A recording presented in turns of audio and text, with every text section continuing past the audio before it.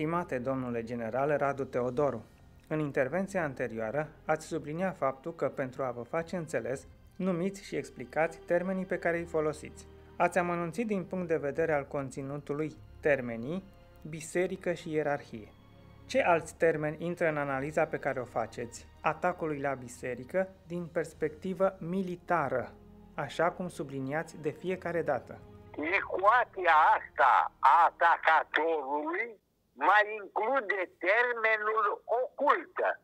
Înainte de a-l explica, o scurtă revenire la portavocea Marei Finanțe prin intermediul mișcării globalizatoare US, aduse la New York, sponsorizate de către sponsorii uh, în alte ierarhii care deschid o librărie numită, să fim atenți, Lucifer, nume care stârnește protestul urmașilor coloniștilor protestanți care pe atunci mai aveau un cuvânt de spus.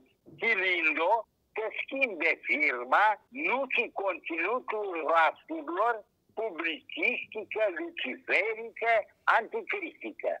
Oculta. Ce este oculta în interpretarea mea?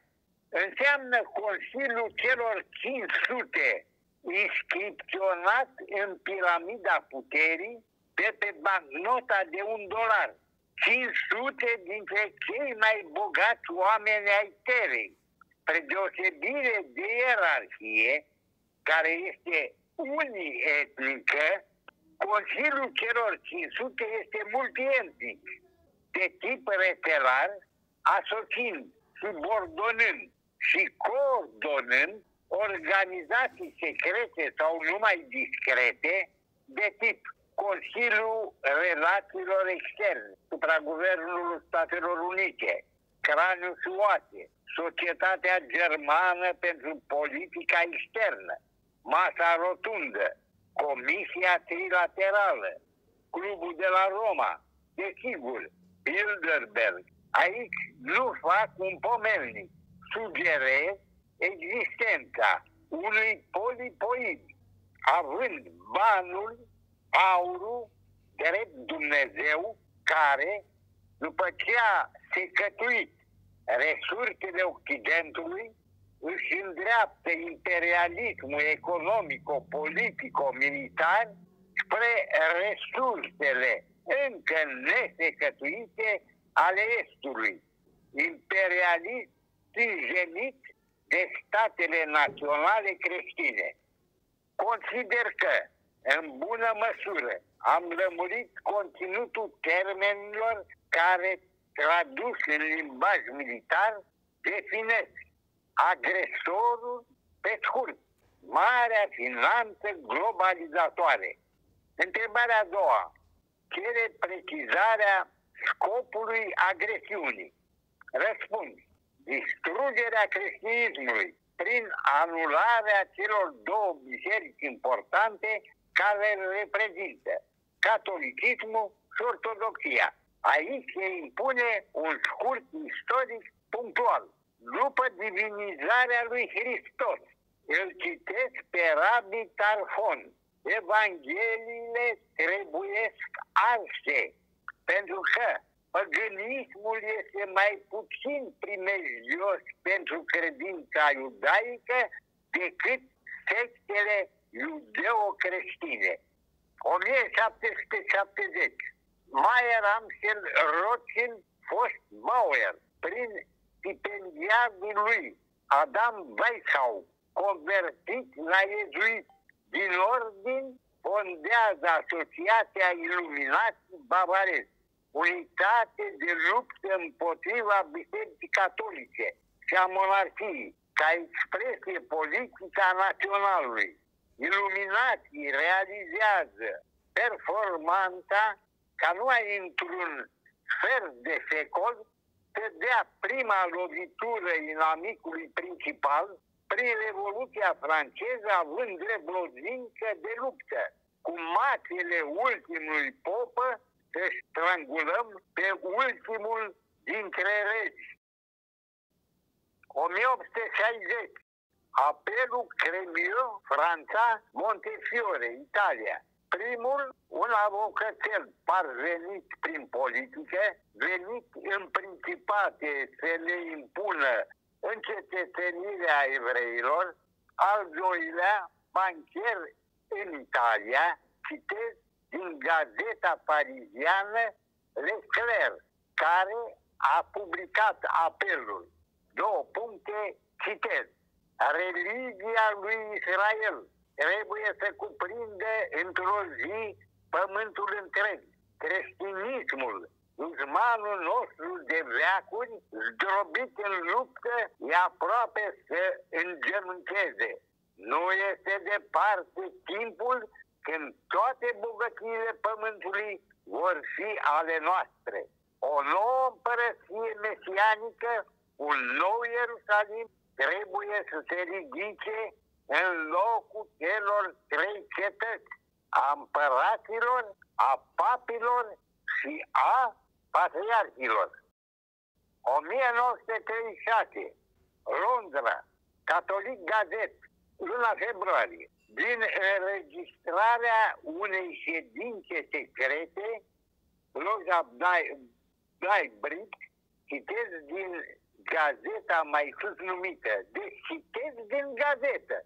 Mai avem un lung drum de urmat înainte de a putea distruge principalul nostru oponent, Biserica Catolică. Și acum atenție, prieteni. Cele ce urmează răspund aproape integral întrebărilor pe care le-am pus în primul episod de la acestui serial.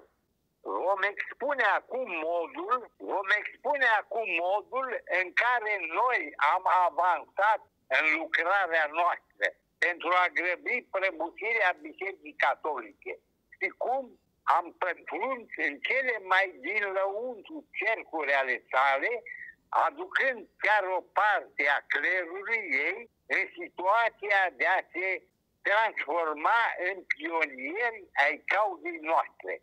Noi i-am îmbolnit pe unii din fiii noștri să se integreze în corpul catolic, cu misiunea explicită de a lucra cu mai multă eficiență pentru dezintegrarea Bisericii Catolice.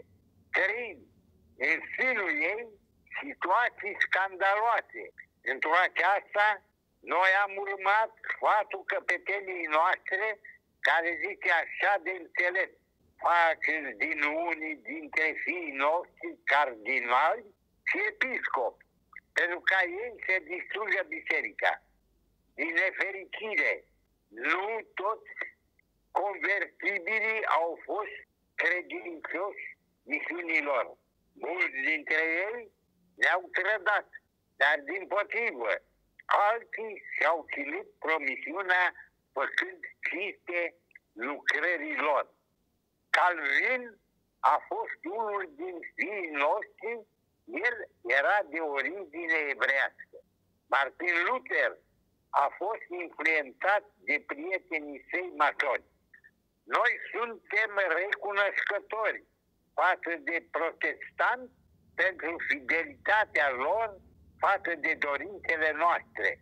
Să fim foarte atenți. Franța, cu guvernarea sa masonică, se află în puterea noastră. Anglia, dependentă de finanța noastră, se află sub călcâiul nostru.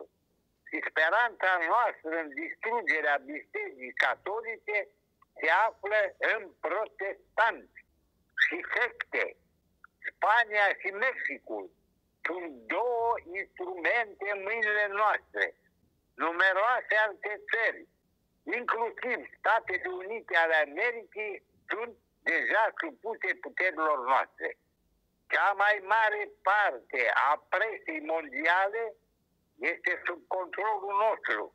Să facem în așa fel încât ca să stârnească violent ura lumii împotriva Bisericii Catolice.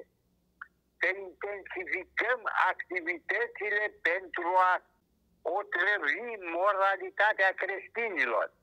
Aceștia trebuie aduși în situația de a urâ patriotismul și dragostea de familiile lor, de a considera credința lor ca o rușine, ascultarea lor față de biserică ca sclavie degradantă, astfel încât ei să devină surzi la chemări de biserici ori la avertizmentele ei împotriva noastră. Prieteni și drept măritorilor creștini. Este inutil orice comentariu. Textul vorbește de la sine și istorie. Mă autoproclam reporter și vă întreb, domnule Constantin Ghiță, cum ai interpretat dumneata în limbaj cinematografic Sfânta Noaptea Învierii interzisă la ordin anticristic cu efect de bumerang pentru cenzorii oficiali sub pretextul ecologic al evitării aglomerării umane într-un spațiu restrâns, când molurile străine sunt accesibile miilor de cumpărători care le umplu bugetul când întreprinderile și-au reluat activitatea și când, evident, s-au pus în practică ucazurile anticreștine ale Sandramalii căzută într-o râne numită Uniunea Europeană. Te ascult văzând Vă invit să urmăriți reportajul realizat în parohia Sfântul Antonie cel Mare din Titan, București, păstorită de Părintele Nicolae Gavrilă. Un reportaj din noaptea de înviere. Cum s-a luminat Titanul, unul dintre cele mai mari cartiere din București, cu sau fără voie de la poliție. Praznicul Învierii Domnului a fost anul acesta unul deosebit pentru întreaga comunitate ortodoxă. Pentru prima oară în ultimul secol, cel puțin, clericii au fost nevoiți să slujească noaptea de înviere singuri, iar credincioșii au fost obligați de către autorități să stea acasă. Hristos a înviat! Adevărat a înviat! Hristos a înviat! Adevărat a înviat! Hristos a înviat! Adevărat a înviat! Și vă ridicați porțile cele veșnice să intre împăratul slavei. Cine este acesta împăratul slavei? Domnul puterilor, acesta este împăratul slavei. Hristos să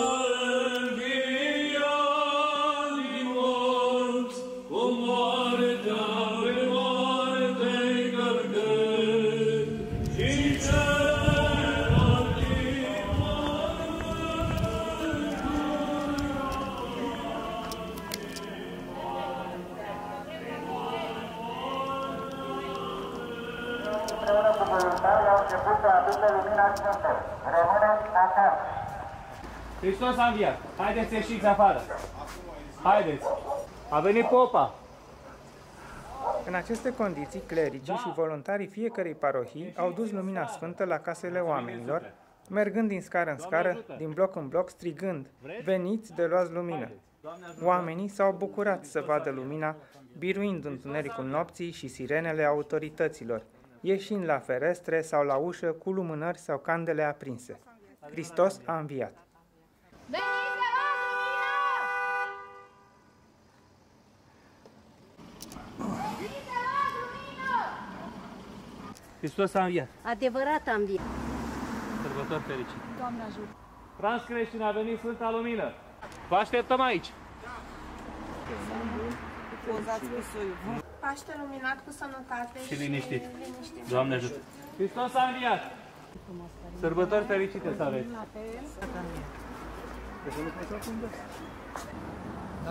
Doamne ajută, Hristos a înviat.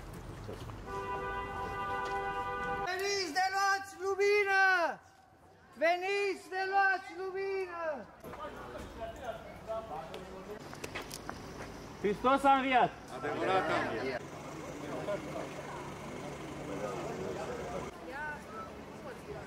Un Paște liniștit, cu pace, cu liniște și cu răbdare. Hristos a înviat. Adevărat a înviat. Hristos a înviat. Doamne ajută! Hristos a înviat.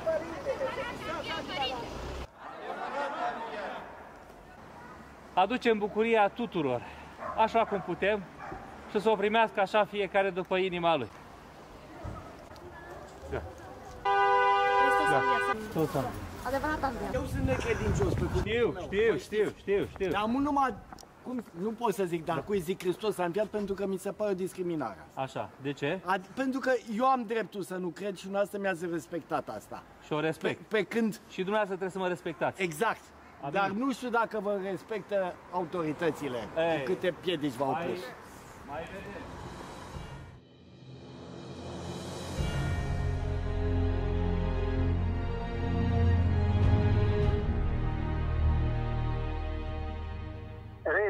Și atenționăm prietenii și conștienții că suntem supuși unei cercetări prin luptă să ne testeze pasivitatea sau replica conștientă, energică și eficientă.